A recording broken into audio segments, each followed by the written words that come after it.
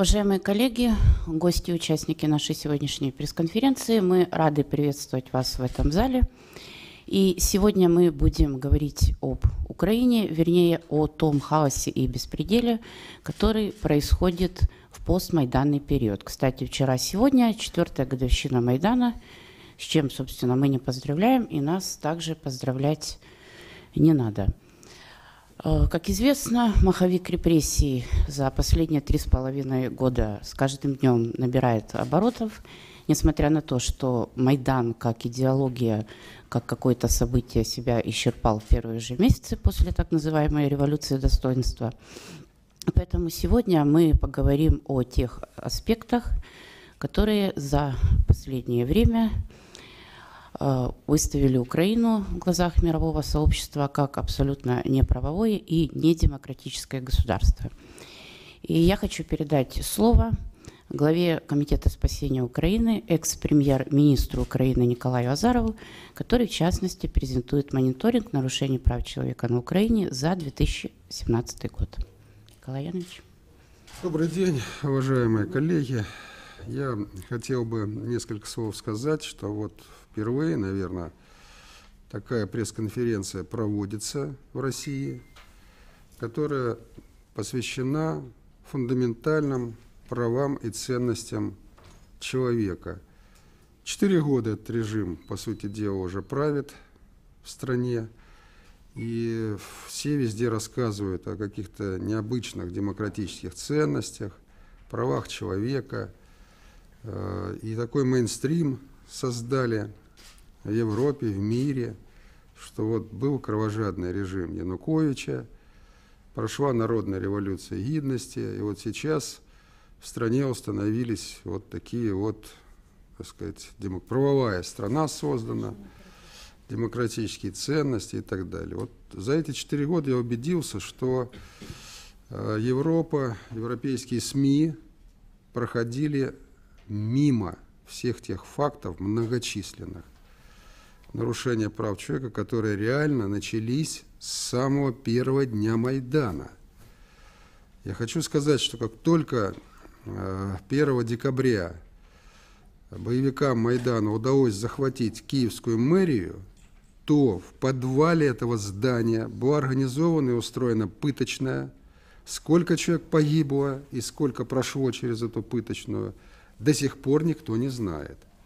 Мы об этом поднимали вопрос сразу же, но никто не обращал внимания, я имею в виду из многочисленных западных визитеров, не соизволил с трибуны Майдана, там, Маккейны, Нуанды, там, и так далее, и так далее, Грибускайта, там, ну, все, кто был там на этом Майдане, не соизволили пройти 100 метров и спуститься, посмотреть, что же там реально происходит – а реально происходили там ужасные вещи, которые показали звериное лицо тех, кто рвался к власти.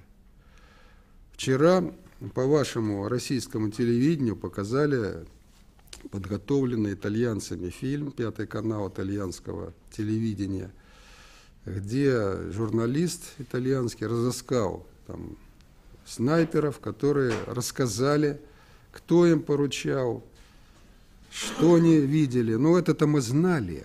Вот, и знали, и неоднократно говорили. И рассказывали. Более того, не только мы знали, но и сами, э, скажем, министр иностранных дел Эстонии, наслушавшихся рассказов Ольги Богомолец, а Ольга Богомолец – это известная значит, в Украине фигура, дочь известного врача Богомольца, академика – вот. Она, так сказать, оранжевая абсолютно, до мозга костей, участвовала во всех Майданах, которые в Украине только были.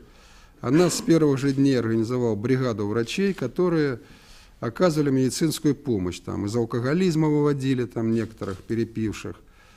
Ну, кто-то там, там носы разбивал и так далее, и так далее. А вот когда начались расстрелы на Майдане, начались и начали при, приносить значит, устроенный в этом в отеле Украина госпиталь, она увидела, что раны были, э, так сказать, как медик она оценивала, э, причинены снайперами, которые находились сзади То есть вели огонь из консерватории, если кто представляет себе Киев, с э, крыши консерватории, э, с э, банка, который находился рядом с, с крышей банка, который находился рядом с отелем Украины, и с самого отеля Украины.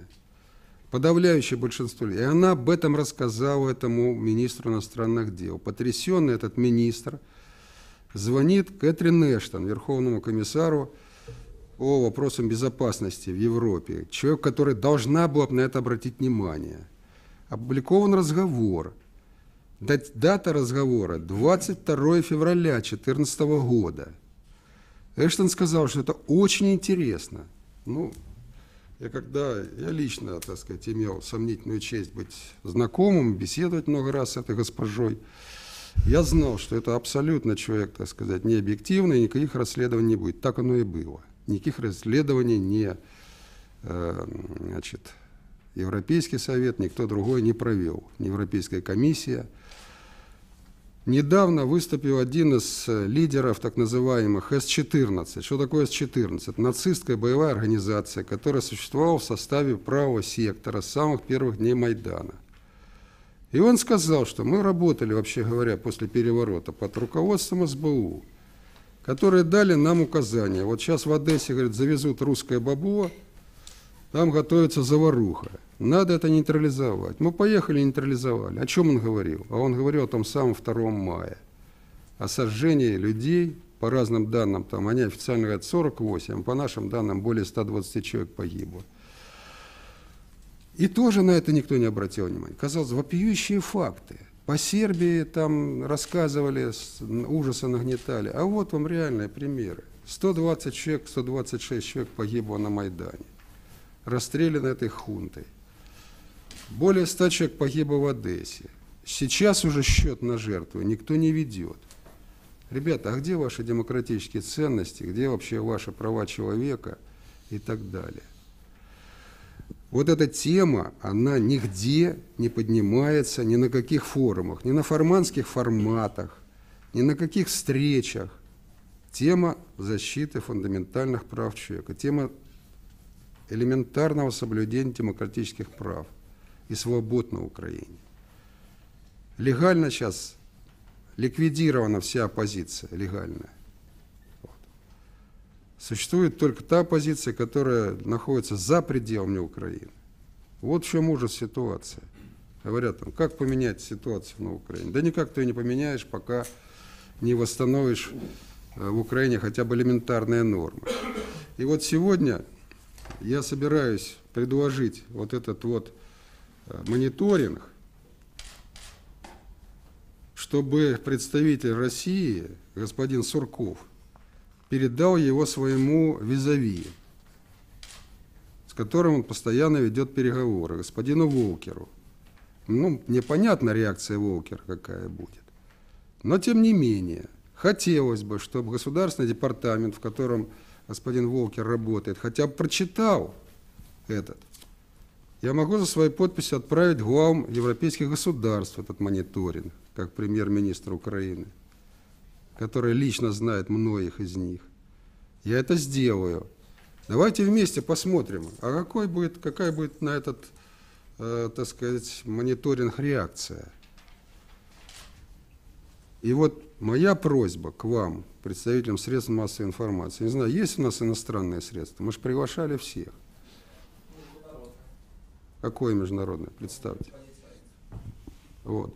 А вот где все эти рейтеры, да, BBC, NBC, чьи корпунты есть, я специально попросил, пригласите все эти BBC и так далее.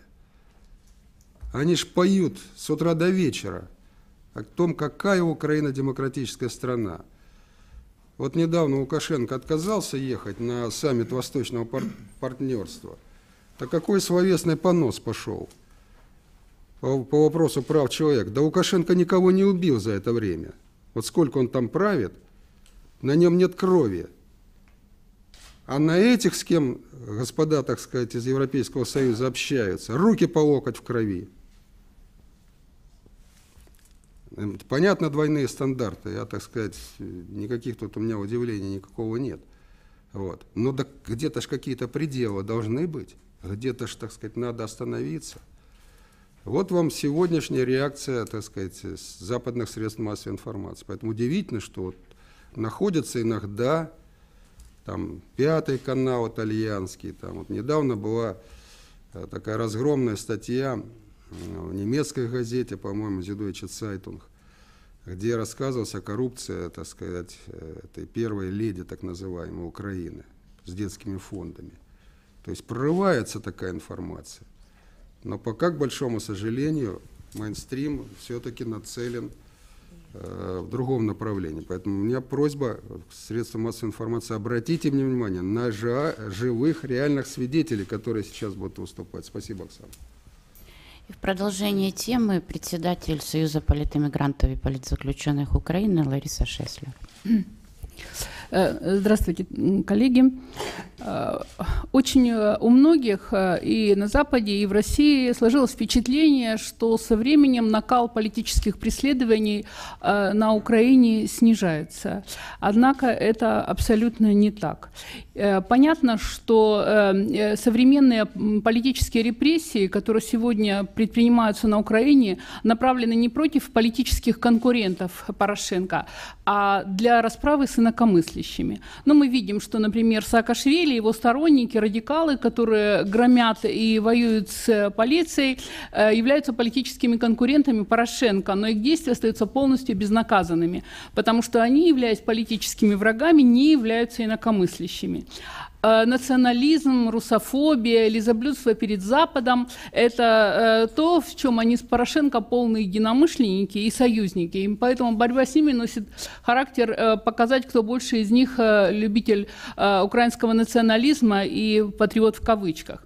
Преследования же затрагивают людей, которые могут противопоставить режиму Порошенко внутреннее неприятие радикального национализма, тех, кто не может смириться с прославлением бандеровщины и с отрицанием э, общей истории. И вот против них вся государственная машина, весь репрессивный аппарат действует с особой жестокостью. И под этот каток попадают абсолютно невинные люди, э, такие, например, как э, журналист, получивший известность в результате своего ареста, например, э, Василий Муравицкий, или, в общем-то, мало кому известная художница из Донецка Надежда Вакуленко. Ее художественный псевдоним ним э, Галина Журавлева. Э, художница, она талантливая, э, много жила в Санкт-Петербурге и выпускала немало своих выставок, но была летом арестована, когда она поехала в Красный Лиман, и, и э, женщина, которая почти 60 лет, которая ничего в руках не держала тяжелее там, кисточки с красками,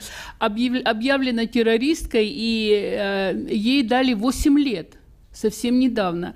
Это ли не вопиющий случай? У меня вот э, передо мной, например, список э, э, людей, которые сидят в СИЗО Одессы. Вот мы все знаем, что 17 человек были полностью оправданы судом, но тем не менее еще десятки остаются в тюрьме по обвинению в сепаратизме и терроризме. И среди них российский гражданин Владислав Гречин, белорусский гражданин Олег Ткачук и в этом списке люди от 20 э, до почти 60 лет.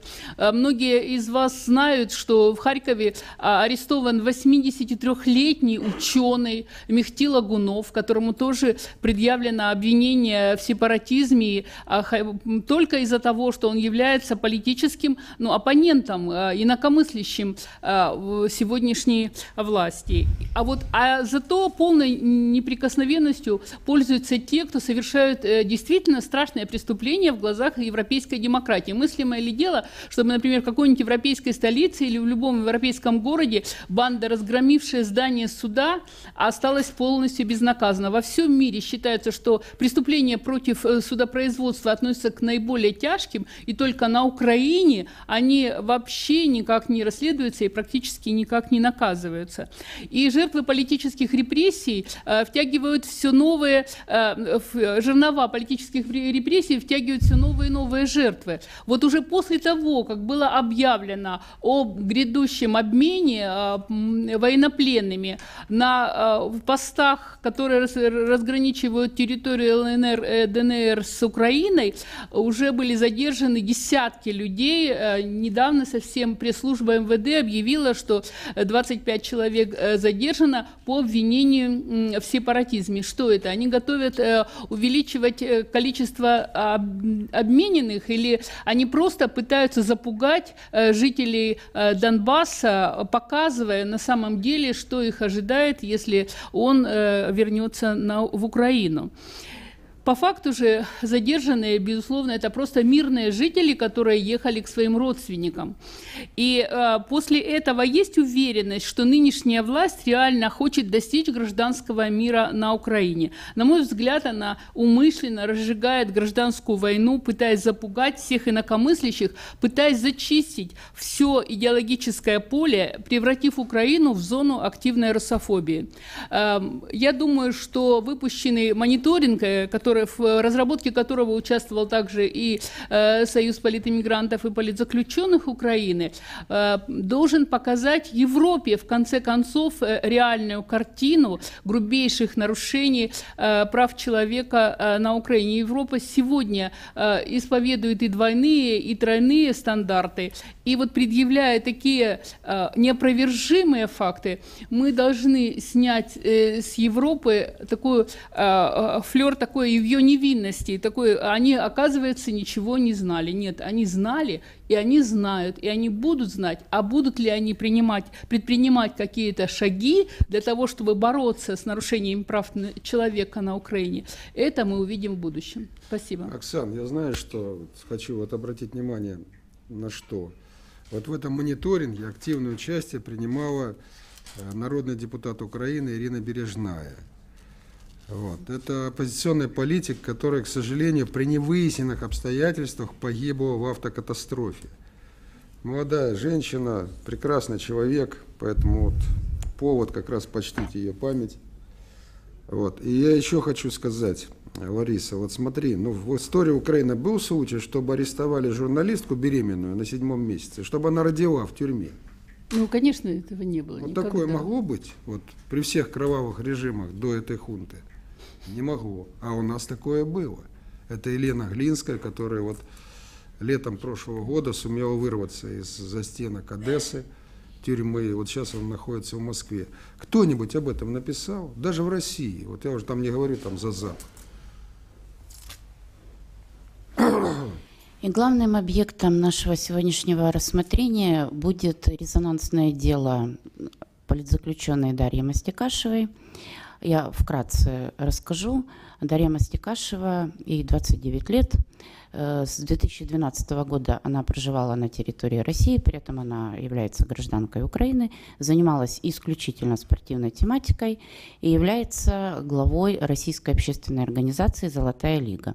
Периодически она ездила домой к родственникам, и в августе текущего года она в очередной раз поехала там подготовить сына к школе, и 15 августа была похищена сотрудниками СБУ. По сей момент она находится в СИЗО-4 Днепропетровска. Э, посредством пыток ее вынудили признаться на видео в том, что она, естественно, не совершала. Это тянет на государственную измену и 15 лет э, срока. И буквально вот 9 ноября Бабушкинским райсудом Днепропетровска было вынесено решение о том, чтобы применить в отношении Дарьи Мастикашевой карательную психиатрию. У нас сегодня здесь находится адвокат Валентин Рыбин. Это ведущий украинский адвокат, который является защитником Дарьи Мастикашевой. Помимо того, он защищает очень многих политзаключенных, находящихся в застенках Украины. И я думаю, он подробно расскажет об этом деле, и о других тоже. Валентин. Ну, спасибо. Э, защищаю в том числе и граждан Российской Федерации, что является достаточно интересным аспектом э, ввиду того, что, э, к сожалению, приходится сталкиваться с ну, достаточно вязкой и неопределенной позицией Российской Федерации по отношению к своим гражданам. Микрофон. Да, прошу прощения. Приходится сталкиваться с достаточно вязкой и неопределенной позицией официальных представителей Российской Федерации по отношению к своим же гражданам, которые находятся в застенках в Украине. Ну, вы знаете, я перед тем, как ехать э, сюда, к вам, в Москву, заехал к матери Даши Мастикашевой в Каменское. Она проживает там с э, сыном Даши. Заехал узнать, как у них дела, оставить немного денег на жизнь, потому что э, сейчас семья в буквальном смысле этого слова выживает. При обыске сотрудники Службы безопасности Украины забрали абсолютно все деньги, которые мать откладывала на жизнь. Я знаю, что Сергей Юрьевич помогает как может, но есть и э, ежедневные лимиты переводов, и мама э, Даша носит передачи в СИЗО. Это достаточно недешевое удовольствие, поверьте, э, это достаточно дорого стоит. Так вот, когда я вошел, ко мне навстречу кинулся сын Даши, Данил. Ему всего лишь 10 лет, но он, конечно же, старается держаться по-взрослому, именно как Данил. И он спросил меня, сколько моя мама еще будет узницей. Вот понимаете, именно узницей. Э, ну, я считаю, что не должен ребенок э, использовать такие слова по отношению к своим близким, тем более к самому дорогому человеку. Но на самом деле, как четко э, подобрано слово, вот узница, ведь формально у Дарьи Мастикашевой сейчас статус подозреваемой, а реально – Э, учитывая нарушение ее прав э, человека, нарушение ее процессуальных прав, она, по сути, действительно узница.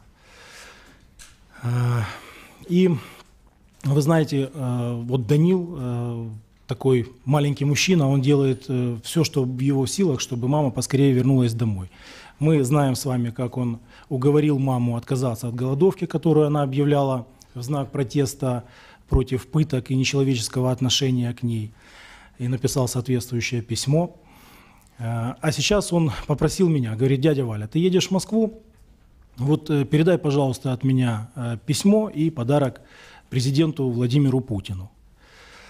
Ну, знаете, тяжело было держать эмоции. Я пообещал Данилу, что сделаю все, что в моих силах, чтобы президент это письмо услышал и рисунок получил. Вот я его демонстрирую.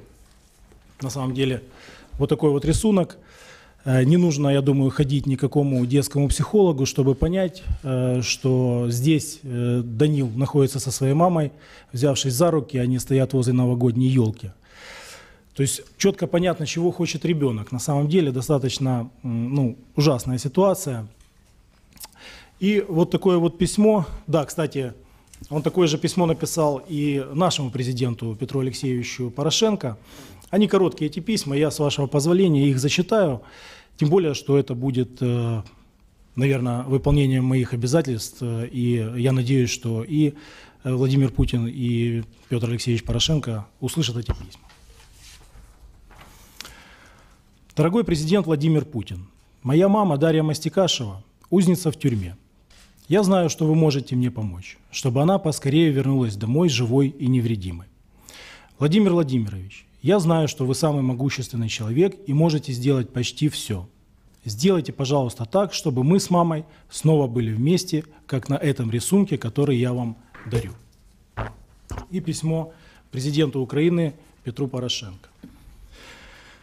Уважаемый Петр Алексеевич, весь последний год я мечтал о том, как мы с мамой поедем на новогоднюю елку, как будем вместе гулять и кататься на лыжах. Но сейчас моя мама в тюрьме. Я знаю, что она не виновата, но не знаю, когда она вернется домой. И теперь я боюсь мечтать, потому что не знаю, когда моя мечта сбудется. Уважаемый президент Порошенко, помогите моей маме вернуться домой. Вот такое письмо на самом деле ребенок уже боится мечтать, ведь это на самом деле гораздо страшнее, чем э, все пытки и истязания, на которые сейчас э, Служба безопасности Украины обрекает э, Дарью Мастикашеву. И вы знаете, очень сложно об этом говорить, но я, наверное, сомневаюсь в том, что у сотрудников Службы безопасности Украины, которые таким образом себя ведут, по сути, похитив человека, женщину, истязая ее, пытая, снимая на видео, Э, а потом демонстрируя это видео на самом высоком уровне, я сомневаюсь, что у таких людей вообще могут быть семьи, жены или дети. Я бы хотел процитировать великого писателя э, Федора Михайловича Достоевского, что даже счастье всего мира не стоит слезинки на щеке невинного ребенка. Ну, у нас, к сожалению, в Украине сейчас Достоевский не в почете, мы все больше по Некрасову живем. Знаете, кого хочу помилую, кого хочу казню. Точно так же, как и в случае с Дарьей Мастикашевой. Э, я, как защитник, неоднократно обращался в правоохранительные органы, доказывал тот факт, что видео, которое продемонстрировал председатель службы безопасности Украины, отсутствует в материалах уголовного производства. Есть официальные ответы службы безопасности, которая ведет расследование данного производства, о том, что видео не снималось. Возникает вопрос, откуда взялось видео, на котором Дарья Мастикашева с заретушированным лицом, а мы доказали тот факт, что она была э, с телесными повреждениями и с избитым лицом. Э, так вот, на этом видео она признается в совершенном преступлении. Этого видео нету, возникает вопрос, откуда оно взялось? По сути, э, уголовное производство по Дарье Мастикашевой в правовом плане уже уничтожено поскольку все доказательства, которые будут собраны по данному производству, они изначально являются недопустимыми, поскольку получены в результате пыток. Это и международные нормы, и нормы национального процессуального законодательства. По сути, дела нет. Однако Дарья Мастикашева продолжает находиться в тюрьме. Более того, Оксана сказала о том, что 9 ноября было принято решение о проведении стационарной психиатрической экспертизы в отношении Дарьи Мастикашевой. В чем циничность ситуации? Дарью Мастикашеву из э, следственного изолятора 31 октября насильно вывозят для проведения амбулаторной психической экспертизы. Естественно, напуганная женщина, не зная, что происходит, без э, объяснения ей причин, куда ее доставляют и с какой целью, отказалась уже перед врачом, будучи, отказалась от участия в экспертизе и сказала, пока не будет защитника, пока я не увижу и не пойму, что будет происходить, я отказываюсь принимать участие в данном мероприятии. Вместо того, чтобы сообщить защитнику о том, что необходимо прибыть, принять участие в проведении экспертизы, обеспечить защиту Мастикашевой, что делает следствие? Следствие получает вывод вот этих вот трех сатрапов, э, врачей, Э, которые пишут, что Дарье Мастикашевой рекомендуется проведение стационарной психической экспертизы. Вот просто безосновательный вывод, он у меня есть, я его могу потом продемонстрировать. И на основании этого вывода обращаются в суд, и судья в судебном заседании спрашивает у прокурора, вот Мастикашева находится, какие у вас есть подозрения в ее э, состоянии здоровья, она адекватная, неадекватная. Прокурор говорит, «Э, ну у нас нету никаких сомнений, все нормально, но вот есть вывод врачей, мы считаем, что нужна стационарная психиатрическая экспертиза. Выходит судья в совещательную комнату и провозглашает после выхода совещательное решение о том, что назначить стационарную психическую экспертизу, причем назначить ее на протяжении месяца. Это максимальный срок, по которому может проходить стационарная психиатрическая экспертиза. Что это? Абсолютные пытки, обстановка и проведение психиатрической экспертизы для здорового человека в тюрьме. Относительно реакции европейского сообщества на дело Дарьи Мастикашевой. Я хочу сообщить вам следующее. Э, была подана соответствующая жалоба Дарьи Мастикашевой. Она была зарегистрирована Европейским судом по правам человека. Учитывая тот факт, что э, данная жалоба подавалась в аспекте статьи 3 и статьи 5 Конвенции о защите прав человека и основоположных свобод, данной жалобе был присвоен определенный приоритет в соответствии с глобальной политикой Европейского суда по правам человека. Так вот, по прохождении некоторого времени, к сожалению, приоритет с данной жалобы был снят. Мы обратились с соответствующим ходатайством по правилу 39 регламента Европейского суда по правам человека и просили Европейский суд хотя бы принять обеспечительные меры по отношению к Дарье Мастикашевой, запретить Украине проводить по отношению к Даше Мастикашевой стационарную психиатрическую экспертизу и принудительный отбор ДНК проб. Это тоже отдельная тема. К сожалению, мы получили отказ и в этом нашем ходатайстве. Однако Европейский суд уведомил нас, что они заинтересованы в данном производстве и просят нас сообщать о всех необходимых изменениях. Возникает следующий вопрос. Будет проведена психиатрическая экспертиза стационарная. Человек, находясь месяц в тяжелейших условиях э, вместе с людьми неадекватными и психически больными, э, испытает невероятный стресс, и после этого, возможно, Европейский суд по правам человека заинтересуется данным производством. Чего ждет Европа в данном случае? Все доказательства неправомерного задержания, наличия пыток, истязаний Дарьи Мастикашевой на лицо, европейское сообщество, к сожалению, очень тяжело реагирует на данные аспекты. И заканчивая вот по делу Дарьи Мастикашевой, хочется обратить ваше внимание, что это же не только человек, это же женщина на самом деле. И э, мы с вами взрослые люди апеллируем к политике, к проблемам, к выгодам, к э, различным вопросам, но нам это кажется важно, а на самом деле мы забываем о самом главном. Вот мы забываем о вот этом, что э, на самом деле постоянно в этой суете мы вместе с водой выплескиваем ребенка. И я опять хочу вернуться к Достоевскому, что не стоит счастья всего мира слезинки невинного ребенка.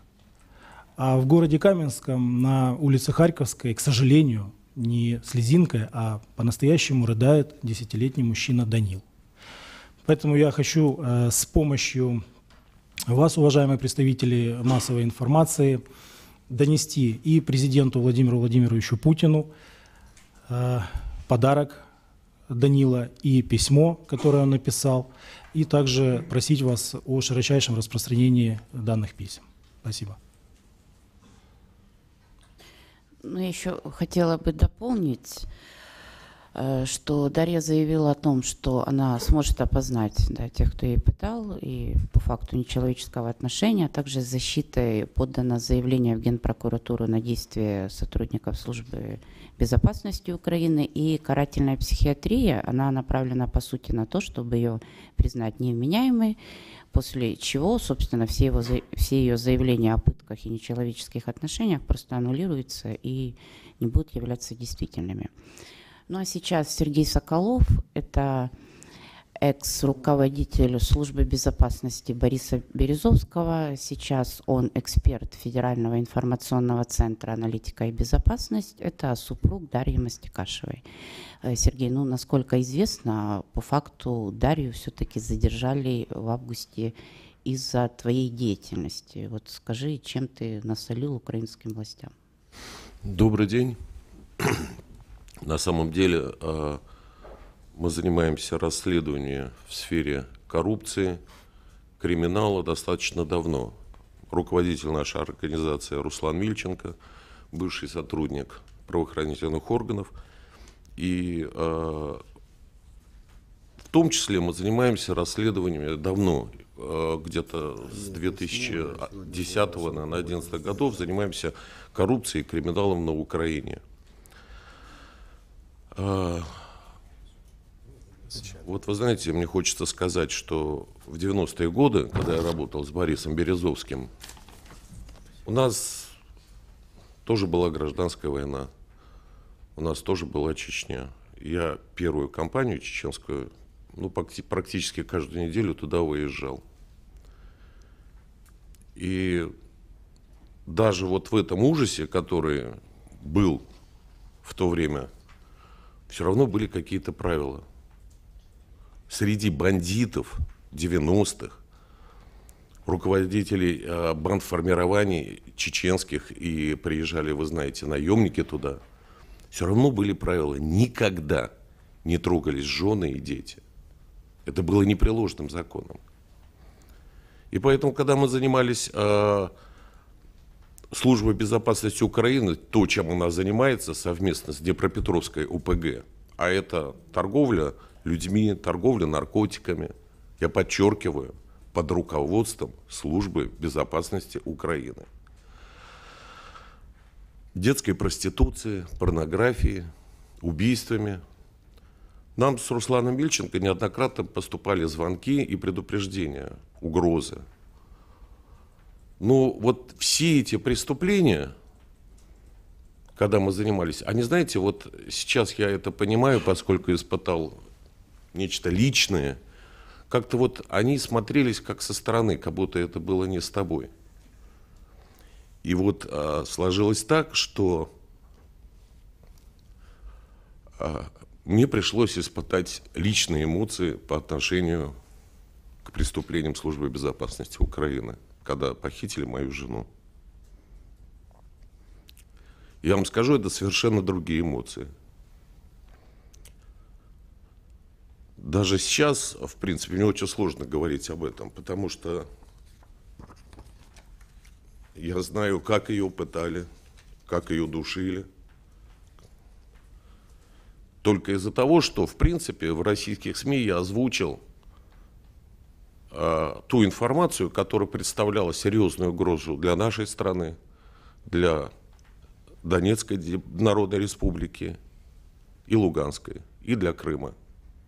Я озвучил э, фамилии инструкторов и диверсантов и местонахождение полигона, где раз, находятся диверсионные группы, которые готовятся для заброску в Крым, ДНЛ, ДНР, ЛНР и Российскую Федерацию. А, о том, если говорить, вот Николай Янович абсолютно правильно сказал, если говорить о Европе, хваленой демократии, опять-таки повторюсь, это не нечто из СМИ, а это личный опыт. Мы с Русланом испытали это на себе. Мы обратились во все европейские правозащитные организации, включая и ООН, и в комиссары, и прочее, прочее, прочее включая правозащитные организации Украины в том числе. И вот вы знаете, из европейских единственная организация, которой я безмерно благодарен, и лично Татьяне Купер, возглавляющей эту организацию на Украине, единственная организация, которая откликнулась. Притом, а, когда ты читаешь прессу европейскую, кажется, что действительно эти вот европейские ценности, там, защита прав человека, они действительно существуют. Но вы знаете, ну это фарисейство на уровне запредельном каком-то. Потому что, вот, например, ООН нам, от, э, знаете, вот от, э, прислал ответ, комиссар, вот приблизительно такого состояния, вот так, такого плана. Вот мы пишем там, убивают человека, а они нам отвечают, вы знаете, вы определите, по каким статьям убивают человека. И э, составьте формуляр на 30, листку, 30 листах, и мы вам посылаем 6 брошюр, которые вы обязаны изучить. Конечно, безусловно, российские средства информации, я чрезвычайно благодарен, они осветили вот это событие. И, конечно, благодаря только информированности общественности Даша осталась жива, потому что увозили ее убивать. Вы знаете, что такое асфиксия? Если четыре раза маленькую девочку душат здоровые мужики, она теряет сознание,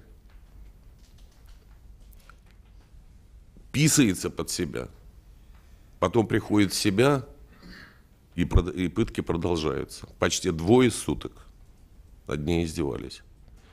И это делали не бандиты, это делал не правый сектор, не Айдар, не Азглов. Это дел, дел, дел, делали действующие сотрудники безопасности Украины. И после этого их руководитель, Грицак, еще призывает к чести мундира и к офицерской чести. А, на сегодняшний день положение дел таково, что Даша содержится в СИЗО. Перспектив выйти у нее практически нет – она сейчас находится в списках по обмену. Но приезжал недавно совершенно один очень информированный человек, который сказал мне прямым текстом, плевать на эти списки, Дашу не выпустят. Вот вдумайте слова, которые мне говорит человек, месседж от службы безопасности Украины. Она ценный товар. Мы ее сейчас осудим – а потом поменяем человека на 20 или за деньги продадим. Это месседж от официальной структуры. И потом, я с вами абсолютно полностью согласен, никакой реакции ни Европы, ни Соединенных Штатов нет. То есть фактически э, фашистский режим, который сейчас присутствует на Украине, этим молчанием и безразличным, а я вот говорю это, может быть, чересчур эмоционально, может быть, так не надо было говорить, но я это пережил сам. У меня жизнь э, как бы разделилась до и после. Так вот, я хочу сказать, что вот это безразличное и молчание – это поощрение этого режима. Именно поощрение. Спасибо. Давайте. Я э, в продолжение темы, э, вот э, я смотрю мониторинг, обложку мониторинга, и вижу здесь знакомое лицо своего подзащитного гражданина Российской Федерации э, Евгения Мефедова. Вот здесь, кстати, находится Максим Сокоулов, это человек, который с Женей э, три года провел э, в одной клетке, будем говорить, и буквально еще свежи в памяти те события, которые были в Ильичевском городском суде Одесской области. Вот есть граждане Украины, но есть такие же граждане Российской Федерации, к которым, между прочим, относится Евгений Мефедов. Человек 2 мая 2014 года из Дома профсоюзов с ожогами верхних дыхательных путей, с ожогами верхних конечностей был доставлен в больницу. Уже в больнице к нему прибыли сотрудники Службы безопасности Украины, как только узнали о том, что он гражданин Российской Федерации, его судьба была решена. Следующие три с половиной года человек провел в тюрьме по обвинению якобы в организации и активном участии в массовых беспорядках. Три с половиной года доказывал свою невиновность, доказал свою невиновность в суде, был оправдан. Тут же, 18 сентября, прямо в зале э, судебных заседаний Ильичевского городского суда, прокуратура Одесской области, служба безопасности, управление службы безопасности в Одесской области, абсолютно надуманное новое подозрение, якобы в провозглашении э, лозунгов, э, которые вредят территориальной целостности Украины, призывы к изменению территориальной целостности Украины, был задержан неправомерно и доставлен опять в СИЗО. Избрана мера пресечения в виде содержания под стражей. Уже в апелляционном суде Одесской области судьи, разбираясь с данным подозрением, и есть многочисленные видео, где я выступал и доказывал необоснованность э, подозрения, признал нарушение прав Жени Мефедова в первой инстанции при избрании меры пресечения и отменил решение об избрании меры пресечения. Однако Женя Мефедов так и не попал на свободу. Почему? Потому что пока находился в СИЗО, пока разбирался апелляционный суд, предъявлено еще одно подозрение. Уже в умышлен- умышленных действиях, направленных на свержение, только подумайте, конституционного строя Украины или захват государственной власти. И, естественно, отмена апелляционным судом решения об избрании меры пресечения по предъявленному подозрению не сработала, потому что было новое подозрение и новое решение о содержании по страже. И, к сожалению, опять в апелляции встречаемся, опять работаем, доказываем необоснованность подозрения, показываем видео, которым оперировала служба безопасности, где Евгений Мефедов абсолютно никаких действий не предпринимает, даже не открывает своего рта. Это, кстати, о подозрении о том, что он лозунги какие-то выдвигал. И вот этот вот надлом. Судьи не могут перешагнуть через вот этот беспредел, который осуществляется службой безопасности и э, прокуратурой. Принимается решение о том, что подозрение обосновано, и Евгений будет находиться в тюрьме. А вот откуда идет вот эта безнаказанность? Вот как вы думаете, судьи, они что, сами эти решения принимают? Грицак, этот председатель службы безопасности, что, что сам это принимает? Нет. Он же приходит, ну я-то хорошо знаю структуру власти, приходит к Порошенко, а тут говорит, дави их, гадов, уничтожай их, плевать на все конституции и законы. Грицак выходит, вызывает подчиненных, а он набрал бандеровцев Западной Украины. То же самое делает. То же самое по судам идет. Вот откуда мы хотим найти какие-то, какое-то понимание, какие-то права человека у людей, которые отдавали приказ своих же стрелять на Майдане, которые отдавали приказ сжигать людей в Доме профсоюзов, которые занимаются террором, у которых руки по в крови, и мы думаем, что с ними можно о чем-то договариваться. Вот это меня удивляет. Я 4 года за этим наблюдаю. Все эти форматы и так далее, и так далее. О чем с ним можно, о чем можно договориться с бандитом? Вот о чем можно договариваться с аморальными абсолютно бандитами? Какие они условия будут выполнять? Они будут только под условия, при применения силы что-то выполнять. И все. Они не считают свои подписи над Мин, под Минскими соглашениями обязательными для себя. Вот это три года прошло, никто ничего не выполняет. Могут обещать что угодно, не выполняют и так далее. О чем с ними можно договариваться? Уважаемые коллеги, прежде чем перейти к вопросам, я хотела бы представить еще несколько человек, которые находятся в нашем зале, которые на себе испытали так, назыв... Э, так называемые все прелести украинской демократии. Но ну, это Максим Соколов, котором Валентин Рыбин... Встань, покажись. Которому Валентин Рыбин сказал, практически три с половиной года одесской тюрьмы только за то, что человек гражданин России. Да, вот э, одесские события. Александр Александровский. Это сын народного депутата Украины от Компартии Аллы Александровской, которая является политзаключенной. На данный момент она, к счастью, находится под домашним арестом, но, тем не менее, несколько долгих месяцев она провела в СИЗО. Это при всем том, что ей практически 70 лет. Она сейчас находится на территории Харькова.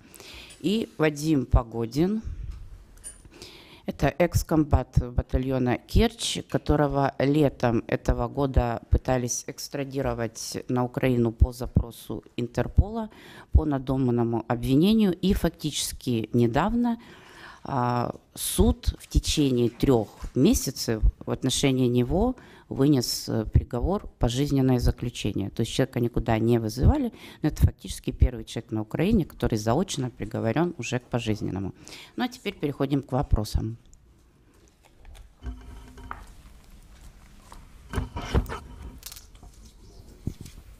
Вопросы у кого? Вы, э, а, да. Э, вы э, все сказали о двойных стандартах, которые исповедуют в Европе, в США, но, э, насколько я знаю, вот вы, Николай Янович, еще когда как раз было актуально дело Александровской, вы писали письмо и послам Евросоюза, обращались лично к ТЭФТу. Хоть какая-то реакция есть официальная? И э, еще у меня такой вопрос. Э, когда вы говорите, что совершенно не обращают внимания ни западные журналисты, ни э, политики на факты нарушения прав человека. Вы когда даете интервью, допустим, западным СМИ, вы поднимаете этот вопрос. Эти факты попадают потом в иностранную прессу или нет? Они замалчиваются или все-таки какая-то реакция есть? Это интересный Спасибо. вопрос. Потому что вот за это время, что я нахожусь в Москве, ну, я, наверное, пару десятков точно давал, а может больше – интервью ведущим западным изданиям. А потом, если даже они появлялись в этих изданиях, то очень даже препарированные. Как правило, с заголовками, не отвечающими сути интервью. То есть существует стопроцентная цензура. Теперь я в первый раз говорю о том, что я неоднократно обращался к послам стран ЕС, которые находятся в Москве, к некоторым руководителям государства правительств. Ну, вот он упомянул господина Тефта, бывшего посла значит, Соединенных Штатов э, в России. А до этого он работал послом в Украине, в то время, когда я был премьер-министром. Я с ним встречался десятки раз. Ну, любая американская делегация, естественно, с послом. А прежде чем этой делегации приехать, этот посол просит, а вот, пожалуйста, я вас прошу, примите. Я его всегда принимал. У нас установились какие-то личные отношения. Он же такой добродушный дядька, вспомните.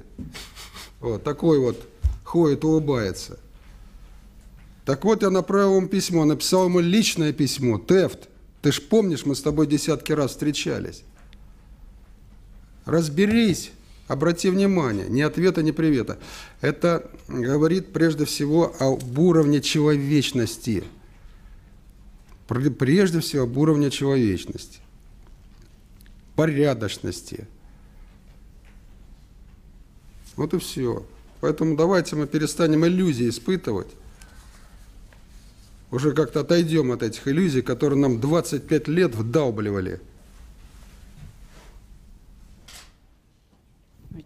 Ваш вопрос. У меня вопрос э, к Николаю Яновичу. Вот уже 4 года прошло э, с Майдана, и э, мы постоянно слышим от ваших представителей из Украины, что вот вы вернетесь, вы что-то сделаете. Эта власть не продержится и полгода. Продержалась 4. Я вообще не поддерживаю Порошенко, как и не поддерживал Януковича. Если бы он был и ваше правительство все-таки работало эффективно, вы бы не оказались здесь, с одной стороны. Но э, у меня вот вопрос такой, э, что мы ждем, э, все ждем, что эта власть сменится в Украине. Я, например, очень жду, так же, как и все тут. Но понимаете, в чем дело? Вот комитет, созданный вами, чем он все-таки занимается? Он занимает, ведет ли какую-нибудь подрывную деятельность все-таки для того, чтобы эта власть существовала как можно меньше? Или же все-таки проводятся вот такие вот семинары, пресс-конференции, которые ничем не заканчиваются. Будет ли какая-нибудь все-таки с вашей стороны, кроме, вот, э, извините, жестко скажу, демагогии от перехода к слов, от слов к действиям? Или мы все-таки вот так вот и будем ждать? Потому что э, ваши эксперты из Украины все приезжают на российское телевидение только и говорят, что это все должно закончиться, закончиться. А когда это закончится? Мы от вас это должны все-таки увидеть, а не от России. Вы, вы сами должны. И ни Европа, ни Америка, они никогда не будут заниматься, э, поверьте, Украиной. Вы должны вернуться туда и навести там порядок. А вы этого не делаете. Может, пора заняться этим делом все-таки?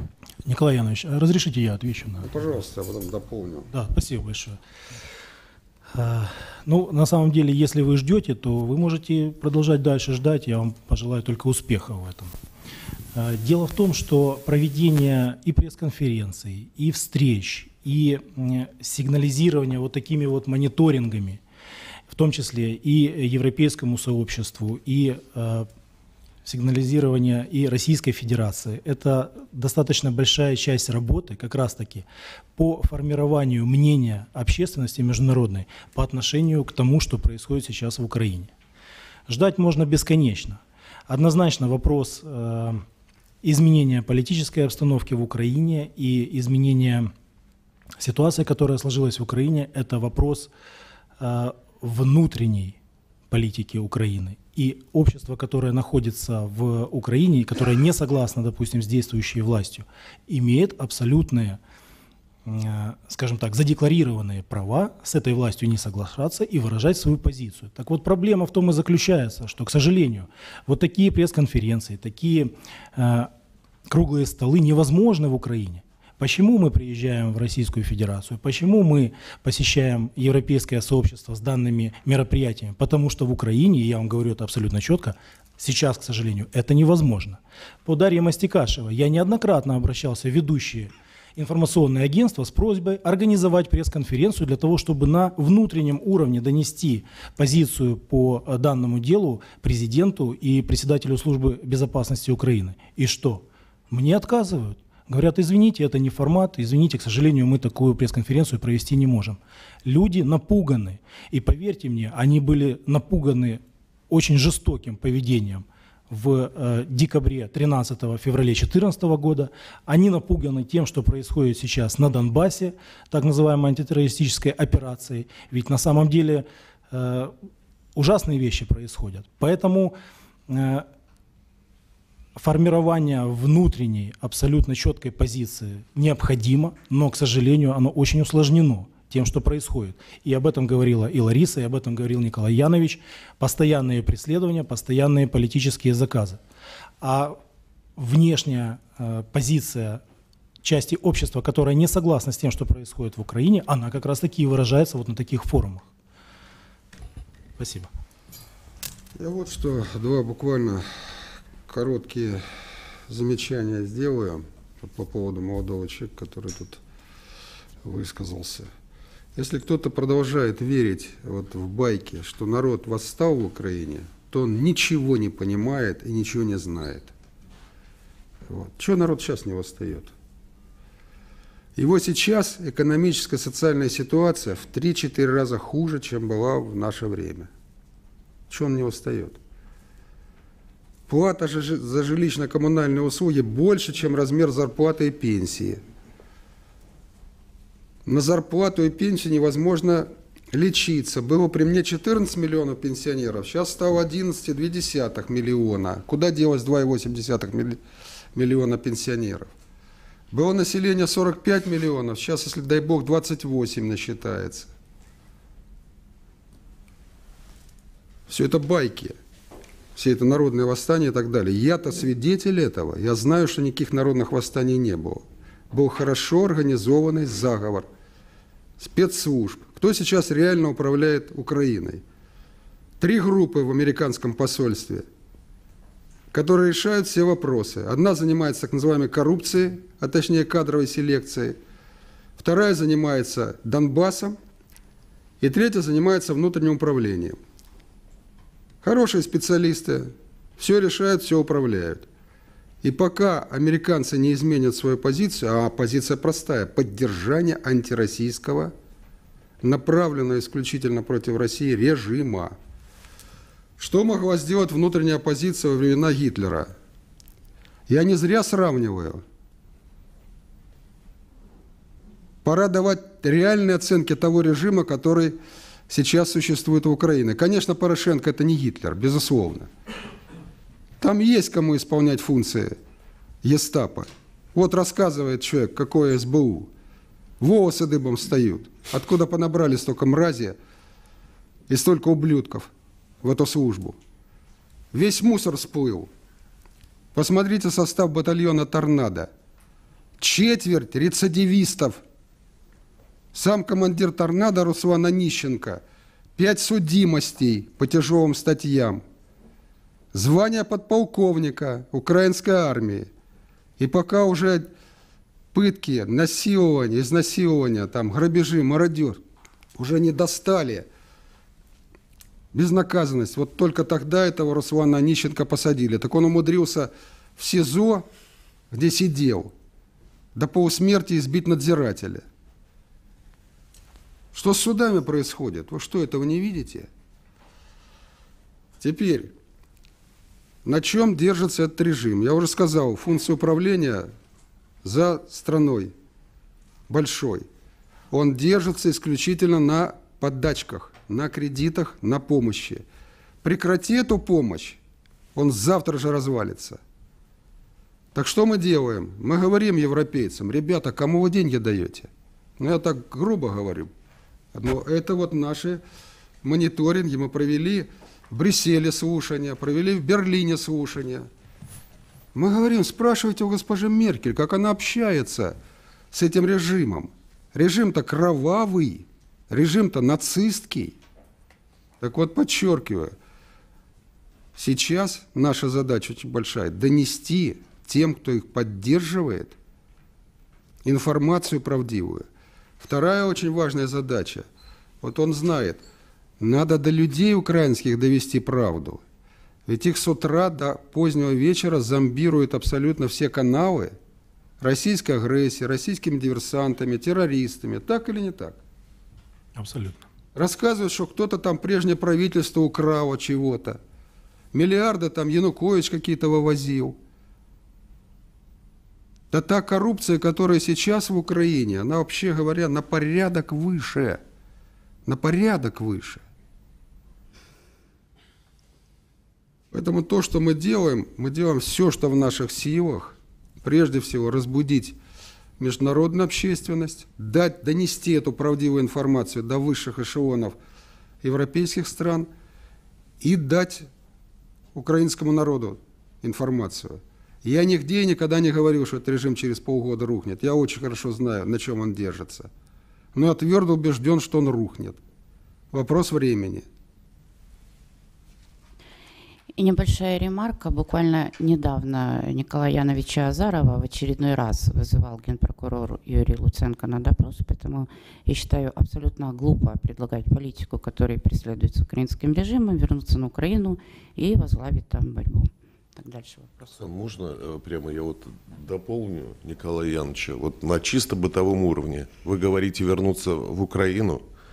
Я могу сказать, что вот задержали Дашу, просто одноклассниках и ее выдергивали в СБУ, избивали и требовали дать показания. Ее мать избили до полусмерти в присутствии внука. Были подруги матери, их вывозили в СБУ и э, там предупреждали.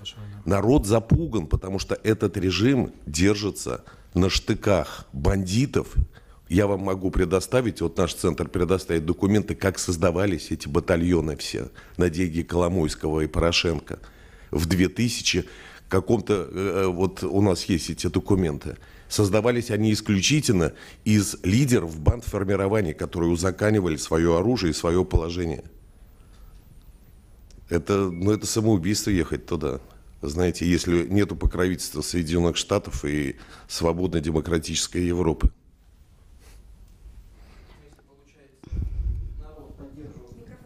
Спасибо. Народ не поддерживает. И Нет, если народ, народ выбрал эту власть, партию регионов народ выбрал, значит народ должен выйти за ней. А где он? А он напуган. А значит партия регионов не пользуется Нет, все-таки не рейтингом поэтому. Вы никаким. Да понимаете, скорее дело в том, что вы А давайте, вот на историю- днях, буквально вчера, из Украины выдворили очередного журналиста Игорь Петрашевич Риафан. Давайте вы поедете вместо него туда и разберетесь со всем тем, что там происходит. Нет, давайте так. Он правильно задает вопросы, очень правильно. Спасибо за вопросы. Видно, что переживает за Украину. Вот никто, даже в России, ни разу не показал, что рядом с Майданом существовал антимайдан. И на этот антимайдан съезжались десятки тысяч человек.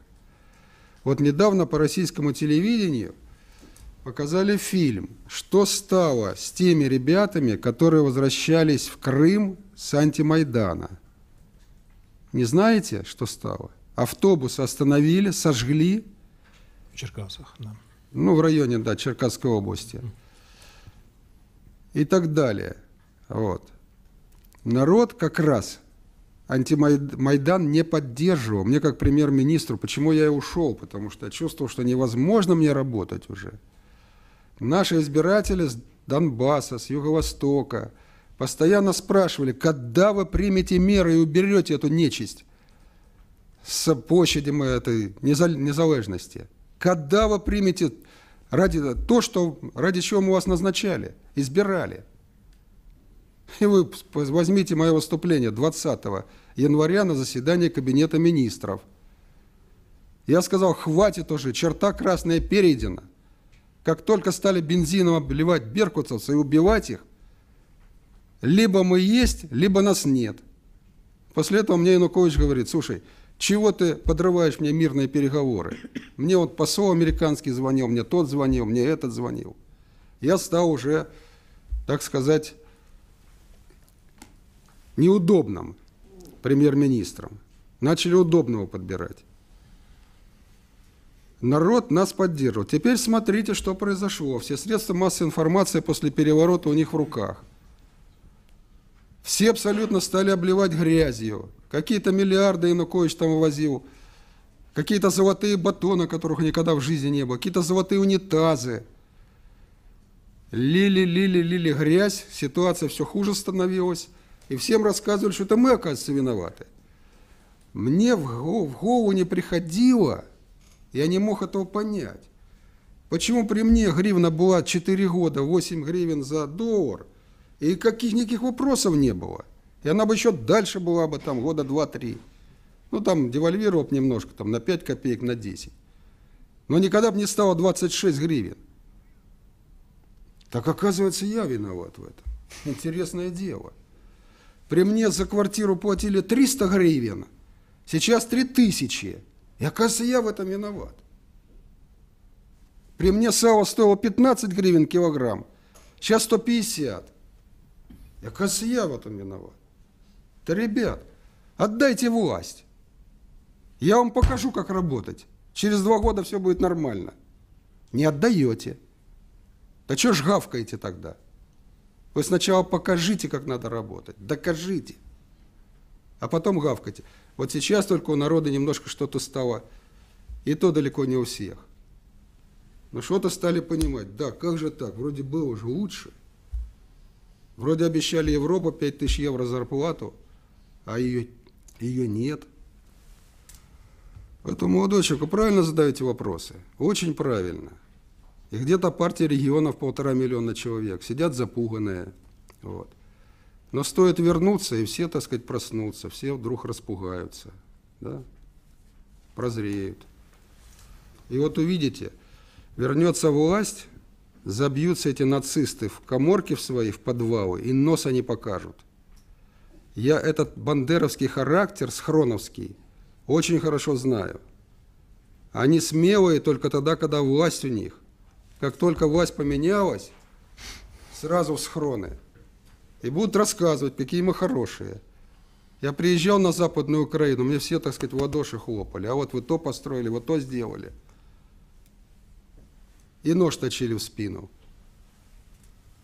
Менталитет такой. Алексей Журавко, экс-народный депутат Украины, партия Я хочу привести живой пример. Вот недавно был тамбовец э, Георгий задержан, у него мать родилась. Так э, служба безопасности отрабатывает на сегодняшний день новое давление на людей, которые не согласны с этим режимом. Сегодня подкладывают наркотики, тяжелые при том, и осуждают людей, ну, сразу же на 8 лет дают. Хотя он представлял э, и всем высказывал свое мнение, я за мир. Войны между Россией и Украиной нет. Устроили эту войну эти негодяи. Это вот первый пример. Вот второй пример. Эдуард Коваленко, 65 -го года рождения. Присудили 5 лет ему, осужден. По Геническому району Херсонской области распространяются слухи, что он есть сепаратист, что он формировал банк формирования для того, чтобы Россию можно было завести и всякие прочие-прочие дела. Вот таким методом сегодня занимается СБУ. А вообще-то по Херсонской области уже больше 70 человек задержаны и терроризируются карательным органом СБУ. Мало того, недавно целая группировка приехала непосредственно американских э, спецслужб о отработке, ну, наподобие таких, как я, людей, которые не согласны с режимом. Так вот, я на сегодняшний день являюсь тоже инвалидом первой группы. И я против этого режима. И говорю, как оно есть. Как вы думаете? Я являюсь пособником террориста. Каким автоматом я буду стрелять и какой рукой? Вот вам живой пример. Вот до чего сегодняшняя власть дошла. Поэтому у меня одно мнение. Надо объединяться и сносить эту чертову власть. И хватит с этой Европой баловаться. Спасибо. Александр Александровский. Ну, много было сказано уже в отношении спецслужб и всего того правового беспредела, который происходит сейчас в Украине. Я непосредственно сам на себе э, год назад это все испытал. Прежде всего я хочу поблагодарить и Валентина Рыбина, Да, и спасибо. его друзей, коллег-адвокатов, которые в Украине, несмотря ни на что, а я знаю, что и повестки вручали в АТО, и избивали. В Харькове адвокату Шадрину автомобиль э, сожгли э, представители правого сектора. Э, Хочу э, выразить им благодарность за то, что, несмотря ни на что, они все равно занимаются этим сложным делом, но очень полезным. И, и э, вот изучив кратенько мониторинг, хочу сказать, что очень хорошо, грамотно написано, но э, хочу попросить, прежде чем э, он будет передан э, или сотрудникам администрации президента России, или же дальше в европейские структуры, я хотел бы, чтобы его немножко добавили, да, э, потому что, ну, вот, например, я посмотрел по Харькову ситуацию, далеко не все, кто действительно находится в СИЗО, в этот попали мониторинг. Кратенько остановлюсь, буквально несколько фамилий, это Вячеслав Чумак, Лариса Чубарова, она, кстати, является гражданкой Российской Федерации, сейчас содержится в Полтавском СИЗО, Валентин Владимирович должен знать. Э, Марина Ковтун, э, Вадим Устиниченко, Владимир Дворников, ну и уже говорили о Мехте Лагунов, 83 года э, человеку находится в СИЗО, но это ему инкриминируют якобы создание террористической диверсионной группы, но это откровенно смешно, человеку 83 года. Поэтому, пожалуйста, более углубленно проработайте по возможности этот мониторинг. И э, вот говорили здесь и журналисты, вот надо что-то делать, вот действительно, даже вот такая вот капля, вот такая вот капля, какая-то мониторинг, она все равно точит камень. Потому что за неимением других все равно будем делать хоть это. Можем делать это, будем делать это. Получится что-то больше, поверьте мне, сделаем гораздо больше. Спасибо. и у нас есть гости из Греции, да? Я так понимаю. Э, вопрос по-английски можно? Ну, с переводчиком. Yes, перевод. Um, I'm a member of Expert Club Molotov and Save Donbass uh, Greece. I would like to ask you if there is any, just any reaction from the European Parliament on the question of political prisoners in Ukraine. Thank you. Я являюсь э, членом экспертного сообщества Клуб Молотова, а также э, Союза помощи Донбассу Греции. И хочется спросить, есть ли какая-либо, хоть какая-то реакция Европейского парламента, э, европейских органов на факты политических репрессий на Украине?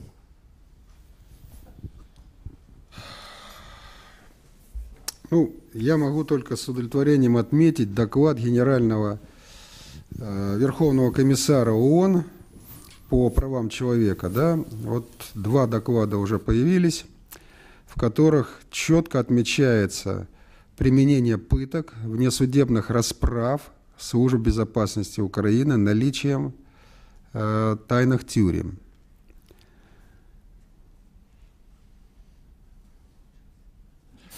Мы направили этот э, материал вначале в Международный Красный Крест – Международный Красный Крест по нашей просьбе связался с э, управлением комиссара по правам человека, и вот этот материал был изучен этой международной, так сказать, институцией, и такой доклад был разослан. Я ожидал на реакции на этот доклад со стороны европейских государств. Никакой реакции. Ну ладно, на мои письма никакой реакции. Но это официальный доклад ООН на которые бы европейские государства должны были бы отреагировать. Вот вы поинтересуетесь, что у вас социалистическое правительство Ципроса, Греции, правда, полностью зависимое от кредитов Международного валютного фонда, но тем не менее, чего же оно не отреагировало на этот доклад? А, посмотрим, как отреагирует а, сейчас а, там, Европейский парламент, в котором прошли слушания – как отреагирует Бундестаг? Как отреагируют члены парламента Италии, где мы собираемся такие слушания провести? Посмотрим. Вот тут молодой человек сказал, что вода воду, вода камень точит. Будем ориентироваться на то, что, может быть, раньше, чем источится камень, реакция появится. Так, еще вопросы есть? Давайте. Если можно, обобщенные данные, есть какие-то количество политических заключенных сейчас на Украине? Можно? Цифры. Лариса, 6 вот э, здесь э, наш товарищ Александровский сказал, что не все, естественно, попали в мониторинг, эти фамилии. Безусловно, они все и не могли попасть, потому что, по нашим данным, около полутора тысяч человек находятся в тюрьмах Украины по политическим статьям или статьям, которые приближены, скажем так, политически, к политическим, то есть их обвиняют в уголовных преступлениях, но на самом деле их подвергают репрессиям по политическим э, признакам. Это сотни человек и в Харькове, и в Херсоне, и в Одессе, и в Николаеве, и уже находятся э, на Западной Украине в колониях и тюрьмах, получивших э, срок к, сожалению, мы не можем ручаться, что в наших списках все 100% людей, которые подвергаются политическим преследованиям, потому что вот э, здесь там господин говорил, что почему вот не встают, почему э, не поддерживают э, бывшую власть и так далее. Э, в стране, в которой тоталитарная, диктаторская, э, ну, диктатура режима, невозможно вообще поднять голову.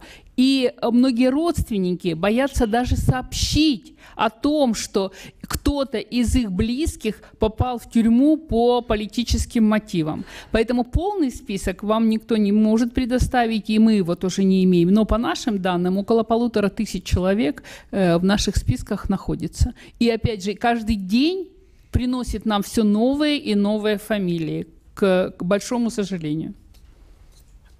Еще вопросы?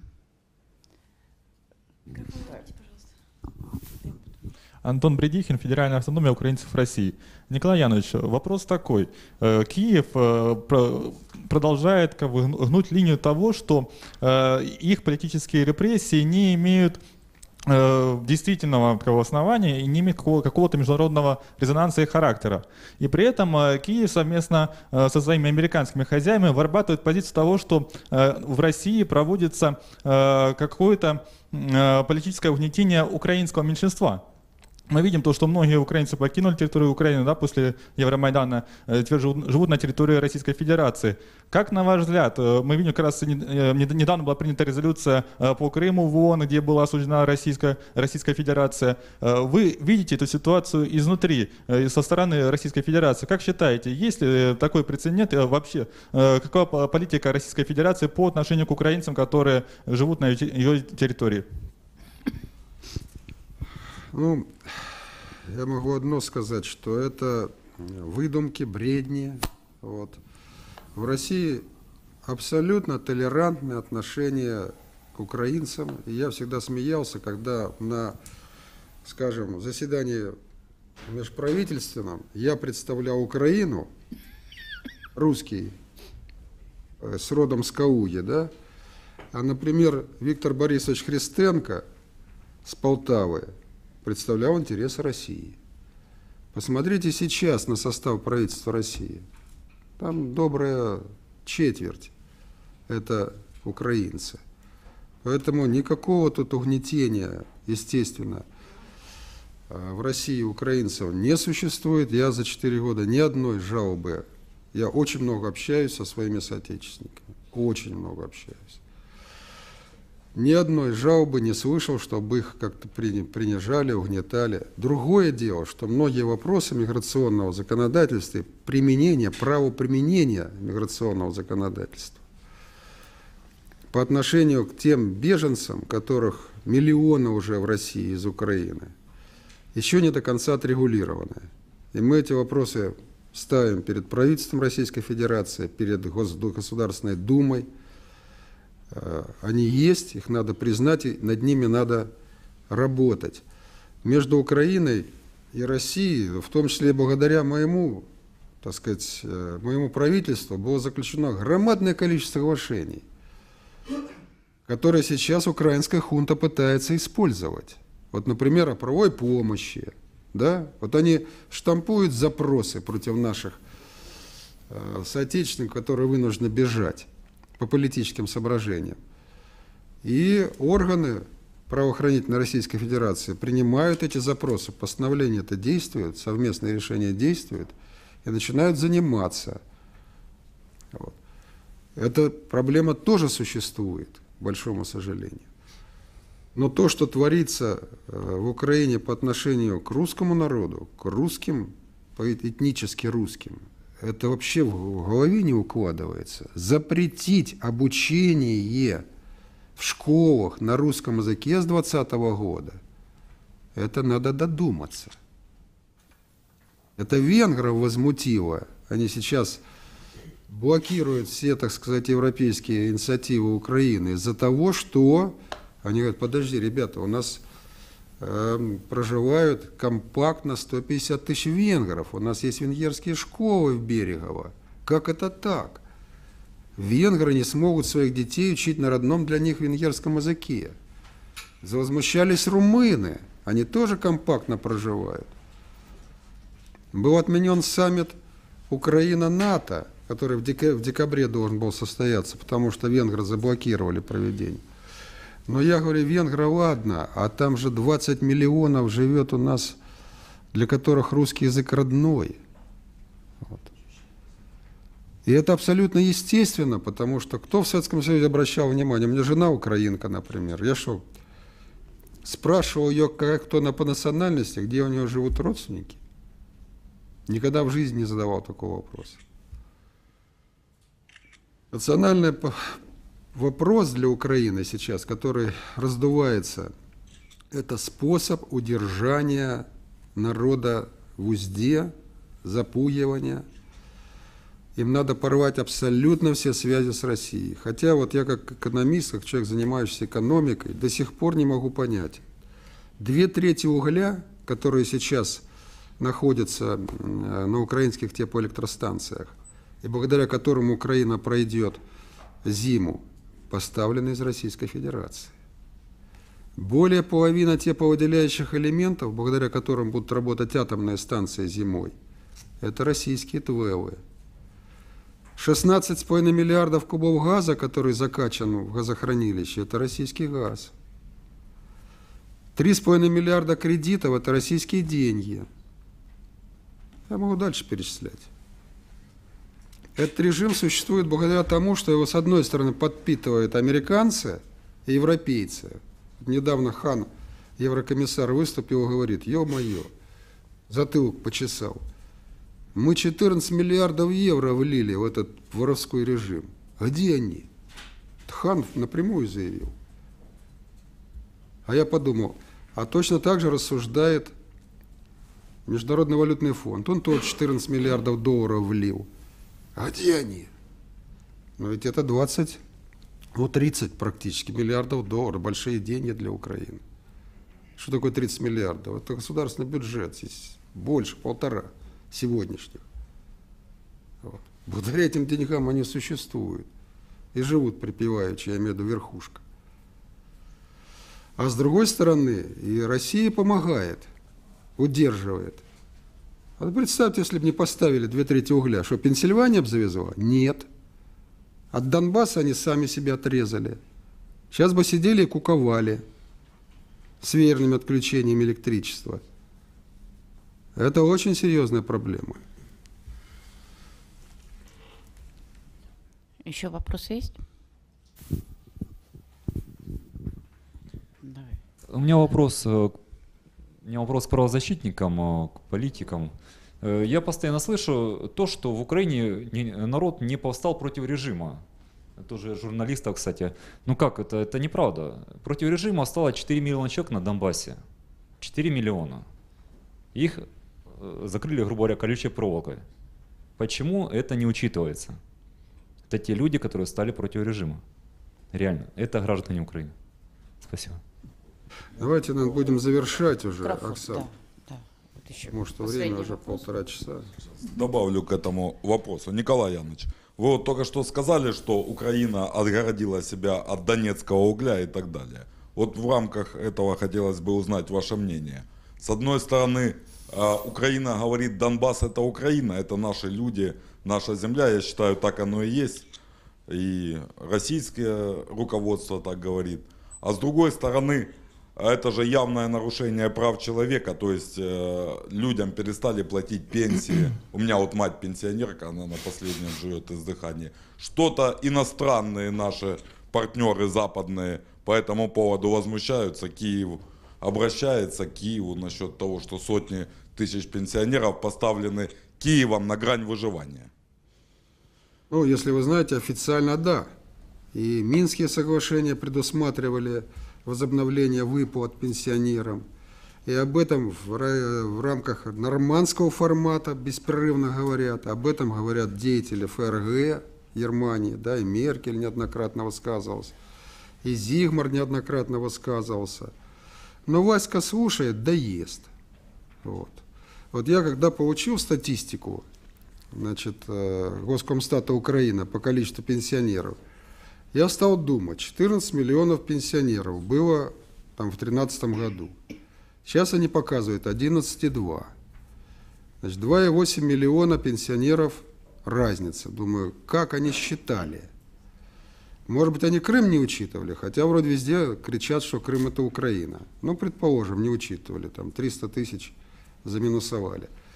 Может быть, не учитывали вот эту часть Донбасса, хотя везде кричат, что это же Украина. То есть Госкомстат, он же не может руководствоваться какими-то неофициальными указаниями. Значит, сказано Украина, значит, должен считать.